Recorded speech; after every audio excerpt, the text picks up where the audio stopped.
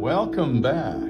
Welcome back. So, you know, sometimes you go to like a place like Value Village or some other thrift store that might be in your area, and you see tons of useless mice because usually they somebody's stolen the freaking or forgotten to take the uh, receiver and put it back in the mouse. So you got a receiverless mouse. Well, this one is one of those ones that is not receiver needed because it has, it's an MX Master Mouse. It has the unifier and it also does Bluetooth.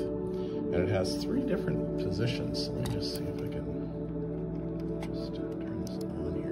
There we go. And it indicates what, oh, here we go. It's doing something to my, there, let's change this. There we go. There. So, turn it on. That prevents it from interacting with my computer. So it has three different types of um, settings. So you could actually hook this thing up to like three different devices, like your computer, maybe your laptop, and maybe, you know, uh, I don't know, smartphone, I guess, I don't know. So three different devices anyway. And you could actually connect that, and then you could just like switch between them by pressing that little button on the bottom, which is kind of cool. So, I don't know. I thought this was a pretty cool mouse for $2.99 at Value Village. I don't know why it was so cheap, and I was thinking, well, is it because the maybe the battery shot, right? But you know what? I got it, and I brought it to work, and I connected it to my, to my computer using the, I used the unifier. That is that symbol with like, it looks like a star. And the other one looks like wires or something. That's the Bluetooth. I guess it's sort of in a V shape. Um, yeah. Anyway, um, yeah. So this thing, yeah. So I, I charge her up. I've been using it for about a week now. And I'll show you something about it. Just it on here. See this inside? Use it for a week, and it's now at two lights. So I don't know. I don't know how long this thing's to last. It's a good question. Will last a week? Well, it's going to last in a week. It's going to last two weeks, and then last three weeks, and then last a month.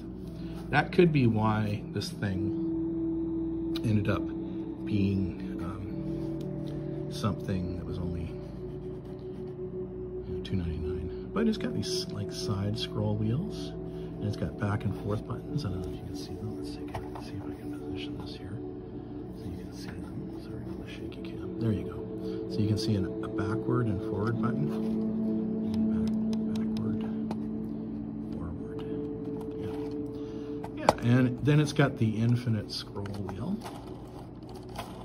So it just again goes and goes, and then oh, it's I gotta have it to work. It doesn't only only works when it's powered on. So let's do it again.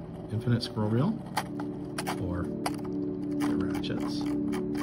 Or cool, watch this, if you need to kind of get it to spin, it's ratcheting, it'll actually ratchet and spin. So you can kind of leave it on this one if you need to do.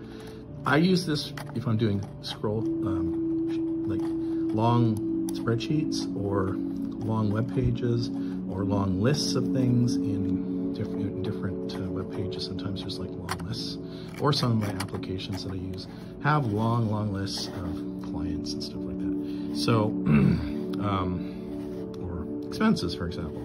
You might have a thousand different expenses and you got to scroll down through all this big list. Um, and sometimes there isn't a simple way to do that, depending on the software.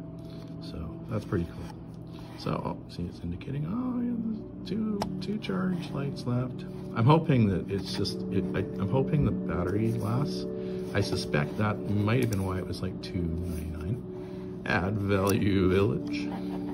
It has this button down here, and nobody can knows about it, but you press it, and it actually like kind of creates a, you can program it, but you can have it kind of bring up like multiple pages or like pop up what's what's running on your computer. And uh, yeah, this thing got a nice shape. It fits. Let's move my hand out. Of too close. Look at this thing. It fits perfectly right in my hand. It doesn't get more comfortable than that, does it? So there you go, guys. That's my five minute video on a two, $3 mouse I picked up. Very, very happy with it so far. But again, like I said, I only used it for a week and so far it's only got two bars. So might have to charge it every three weeks or something, eh? But who knows, I'll find out. I use it for eight hours every day or more. So I wouldn't be surprised if I'm wearing it down, wearing on the battery, but I don't know what the original charge would, would have been like. I'm thinking, you know, even if I had to charge this once a month or once every couple of weeks, it's doable. I could, I could use it. And it's, you know, it's not a lot nicer than the, this guy here. This is a nice mouse, but, and I can always use this one while the other one is charging. This one works fine. And it's unifying, so you know what that means. That means I can actually, uh, turn on, um, I can actually uh, use both of these at once. So like one's charging, the other one's usable, and I don't have to like set it up or anything. They're both, both are usable. You wouldn't use them at both at the same time, obviously, but you know, just convenience. So there you go, guys. That's my little blurb. Oops. Knocking things over. Knocking things over while putting away the other mouse. Sorry about that. So that's my little blurb about